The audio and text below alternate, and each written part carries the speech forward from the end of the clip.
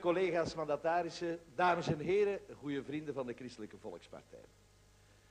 Als christendemocraten in alle duidelijkheid moeten en willen zeggen dat wij een grotere fiscale autonomie willen voor Vlaanderen. Dat wij een economische autonomie willen voor Vlaanderen. Dat we een sociale autonomie willen voor Vlaanderen.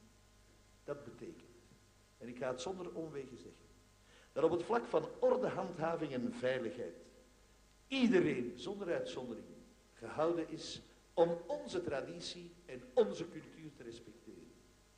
Zoveel is klaar.